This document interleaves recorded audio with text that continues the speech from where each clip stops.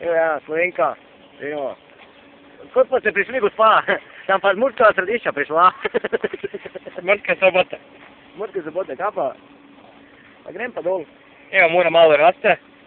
Dobro, nije to još strašno, još koji 5 metri i onda bi moglo biti kritično.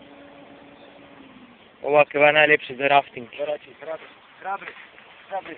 Spasioci. Evo, hrabri spasioci. Povijek se neko ti vliječe.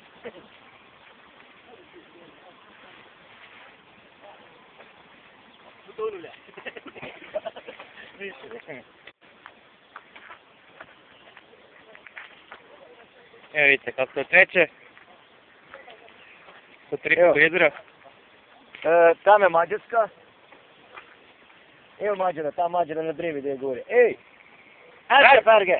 Je švargaš? Naš ger bergeš, kot riboš, varoš, vodaš, odneseš. Jo!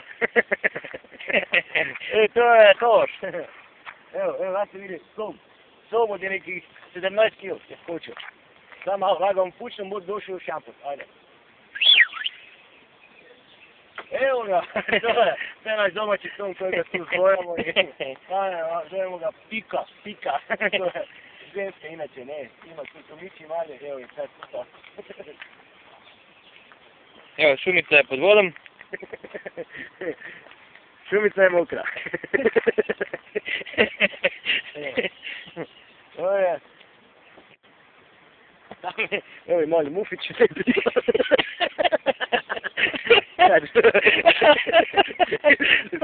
Evo, evo svega tu, evo, čekamo.